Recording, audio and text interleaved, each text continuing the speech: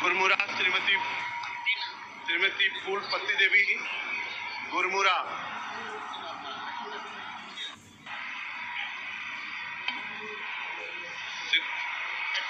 नमस्ते। आप कैसे हैं? उत्तर प्रदेश में ठंड शुरू हो गई। हाँ अच्छा।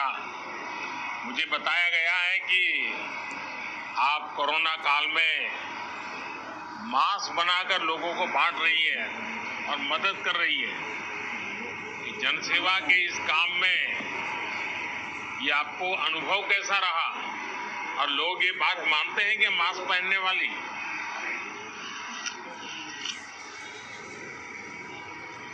हाँ सर, कोरोना संकट में हम मास्क निश्चित थाना के समूह द्वारा अपने गाँव में और अपने गाँव और अपने आ, किसान दीदी भैया और मजदूर मनरेगा में काम काम करे वाला है उन सबके बाटे।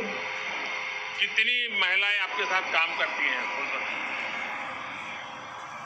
साहब हमारे गाँव में हमारे समूह में चौदह महिलाएँ हैं।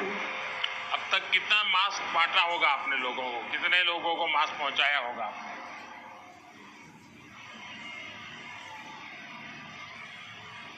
लगभग लगभग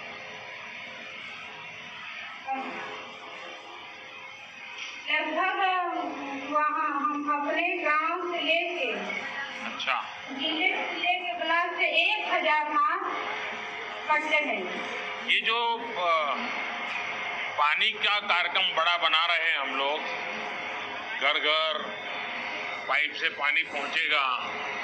तो ये बात आप सब महिलाओं के बीच में गाँव के लोगों में पहुँच गई है क्या?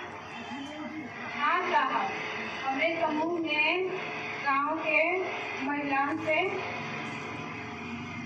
मिली ये कुछ किए थे ताकि हम लोग के घर घर पानी का दिक्कत रहा नहीं क्या लगता है? सब सब गाँव वालों को क्या लगता है? ये पानी की व्यवस्था होगी तो क्या फ़ायदा होगा? क्या लगता है आपको?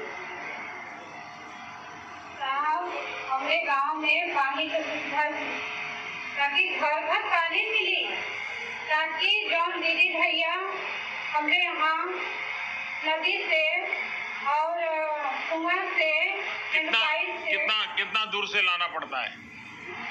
एक किलोमीटर डेढ़ किलोमीटर से।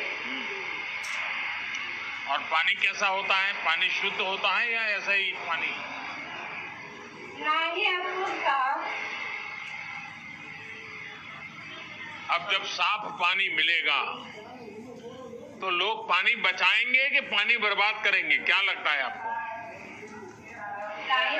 पानी बचाएँगे। पक्का बचाएँगे? हाँ देखिए पानी का महत्व क्या है? पानी के बिना ज़िंदगी कितनी कठिन है? ये हमारी माताएँ बहनें बहुत अच्छी तरह समझती हैं। और मैं जब गुजरात में था मुख्यमंत्री, हमारा कच्छ जो है वो तो पूरा रेगिस्तान है। जैसा आपका बिंद में पानी की दिक्कत है, जैसे बुंदेलखंड में पानी की दिक्कत है वहाँ रेगिस्तान में भी यही हाल था। तो हमने महिलाओं की कमेटियाँ बनाई और उन्हीं को काम दिया। इतना अच्छा काम किया बहनों ने वो सारी चीज़ों को संभालना, लोगों से टैक्स वसूल करना, कभी खराब हो जाए तो रिपेयरिंग करना, सब काम बहने करती थी। उनको एक बहुत बड़ा अवार्ड भी मिला था। तो मैं चाहूँगा कि महिलाओं में अगर जागृति रहेगी तो पानी का काम भी अच्छा होगा और पानी बचाव का भी काम अच्छा होगा। तो फुलपति जी, अब आपका जो स्व सहाय जूथ है, उनको आपने ट्रेन करना चाहिए पानी के लिए। उनको समझाना चाहिए गाँव गाँव जाना चाहिए पानी कैसे बचाना। तो करेंगे आप लोग? पक्का करेंगे? पक्का करेंगे साहब। चलिए आपको बहुत बहुत धन्यवाद बहुत बहुत शुभकामनाएँ।